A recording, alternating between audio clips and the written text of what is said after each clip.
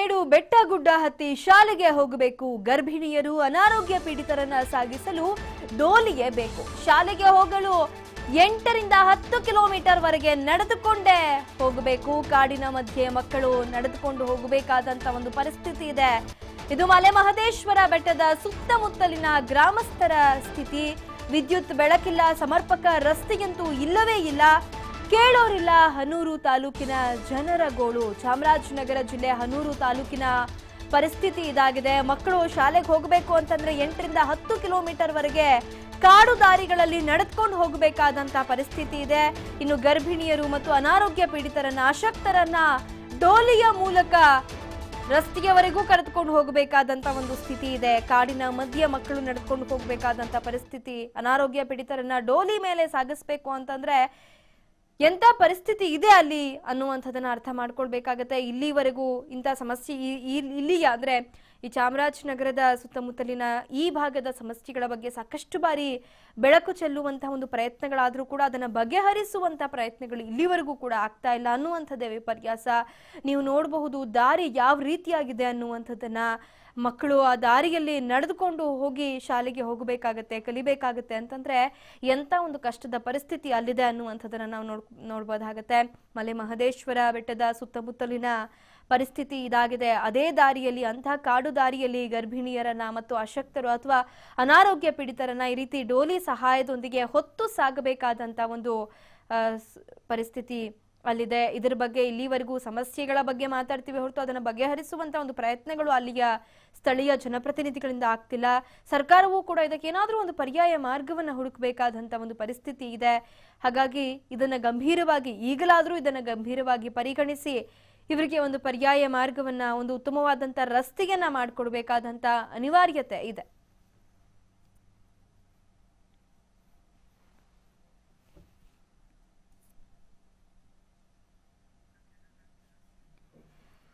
ವಿದ್ಯುತ್ ಬೆಳಕು ಕೂಡ ಕಾಣದಂತ ಒಂದು ಪರಿಸ್ಥಿತಿ ಆ ಗ್ರಾಮದಲ್ಲಿದೆ ಅಂತಂದ್ರೆ ಅಲ್ಲಿಯ ಸ್ಥಿತಿ ಹೇಗಿದೆ ಅನ್ನುವಂಥದ್ದನ್ನು ಅರ್ಥ ಮಾಡ್ಕೊಳ್ಬೇಕಾಗತ್ತೆ.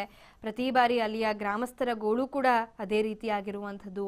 ಪ್ರತಿ ಬಾರಿ ಜನಪ್ರತಿನಿಧಿಗಳು ಭರವಸೆಗಳನ್ನ ನೀಡ್ತಾರೆ ಹೊರತು ಆ ಭರವಸೆಗಳನ್ನು ಈಡೇರಿಸುವಲ್ಲಿ ಮಾತ್ರ ಅವರ ಗಮನವಿಲ್ಲ ಅನ್ನುವಂಥದ್ದು ಅಲ್ಲಿಯ ಸ್ಥಳೀಯರ ಗೋಳಾಗಿದೆ. ಶಾಲೆಗೆ ಸುಮಾರು ಎಂಟತ್ತು ಕಿಲೋಮೀಟರ್ ಇಂಥ ಒಂದು ದುರ್ಗಮ ರಸ್ತೆಯಲ್ಲಿ, ಕಾಡು ಹಾದಿಯಲ್ಲಿ ಎಂಟತ್ತು ಕಿಲೋಮೀಟರ್ ಮಕ್ಕಳು ನಡಿಬೇಕಾಗತ್ತೆ ಅಂತಂದರೆ ನೀವು ಗಮನಿಸಬಹುದು. ಅದು ಕಾಡು ದಾರಿಯಲ್ಲ, ಒಂದು ರೀತಿ ಬೆಟ್ಟದ ರೀತಿ ಇದೆ. ಅದನ್ನು ಹತ್ತಿ ಇಳಿಬೇಕಾದಂಥ ಪರಿಸ್ಥಿತಿ ಅಲ್ಲಿಯ ಮಕ್ಕಳಿಗಿದೆ. ಶಾಲಾ ಸಮವಸ್ತ್ರವನ್ನು ಧರಿಸಿ ಅವರ ವಸ್ತುಗಳು, ಬ್ಯಾಗ್ಗಳನ್ನು ಹಿಡಿದು ಹೇಗೆ ಆ ಕಾಡಿನ ದಾರಿಯಲ್ಲಿ ಮಕ್ಕಳು ನಡೆದು ಬರ್ತಾ ಇದ್ದಾರೆ. ಮತ್ತು ಗರ್ಭಿಣಿ ಸ್ತ್ರೀಯರಾಗಿರಬಹುದು ಅಥವಾ ಅನಾರೋಗ್ಯ ಪೀಡಿತರನ್ನು ಆಸ್ಪತ್ರೆಗೆ ದಾಖಲು ಮಾಡಬೇಕು ಅಂತಂದರೆ ಅದೇ ದಾರಿಯಲ್ಲಿ, ಡೋಲಿಯಲ್ಲಿ ಅವರನ್ನು ಹೊತ್ತು ಬರಬೇಕಾದಂಥ ಒಂದು ಪರಿಸ್ಥಿತಿ ಇದೆ. ಇನ್ನು ಎಮರ್ಜೆನ್ಸಿ ಸಂದರ್ಭಗಳಲ್ಲಿ, ನಿಜಕ್ಕೂ ಆ ದಾರಿಯಲ್ಲಿ ಅವರನ್ನು ಕರ್ಕೊಂಡು ಬಂದು ಆಸ್ಪತ್ರೆಗೆ ಸಾಗಿಸುವಷ್ಟರಲ್ಲಿ ಅದೆಷ್ಟು ಜೀವ ನಷ್ಟವಾಗಿದೆಯೋ ನಿಜಕ್ಕೂ ಗೊತ್ತಿಲ್ಲ. ಯಾಕಂತಂದ್ರೆ ಅಂತ ಒಂದು ಪರಿಸ್ಥಿತಿ ಅಲ್ಲಿಯ ಗ್ರಾಮಸ್ಥರಲ್ಲಿದೆ.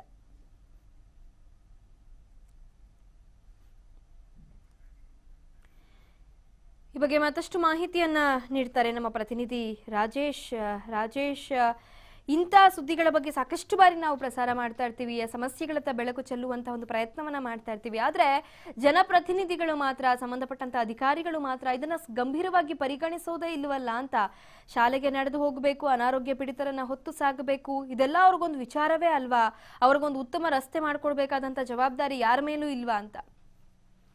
ಎಸ್ ಲಿಖಿತ, ಏನು ಗಡಿ ಜಿಲ್ಲೆ ಚಾಮರಾಜನಗರದ ಹನೂರು ತಾಲೂಕಿನ ಮಲೆ ಮಹದೇಶ್ವರ ಬೆಟ್ಟದ ಕಾಡಂಚಿನ ಗ್ರಾಮಗಳು ಮತ್ತು ಕಾಡ, ಕಾಡಿನ ಮಧ್ಯದಲ್ಲಿರ್ತಕ್ಕಂಥ ಗ್ರಾಮಗಳ ಪರಿಸ್ಥಿತಿ ಇದು.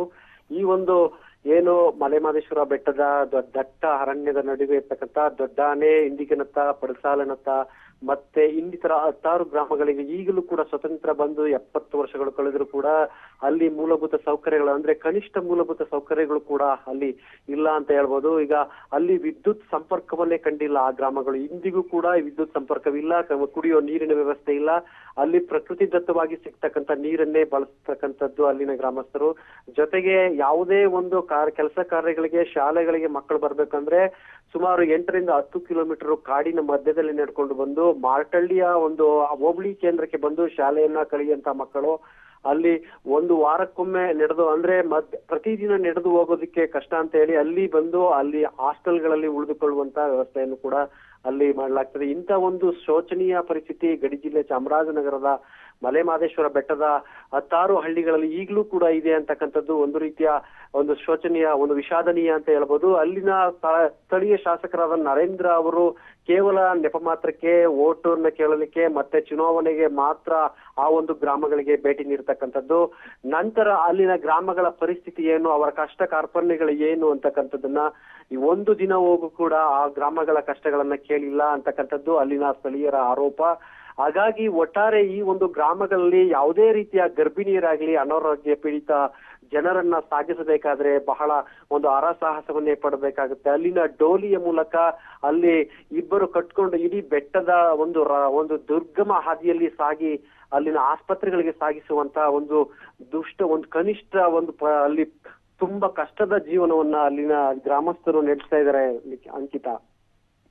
ಓಕೆ ಧನ್ಯವಾದ ರಾಜೇಶ್ ಮಾಹಿತಿಗಾಗಿ.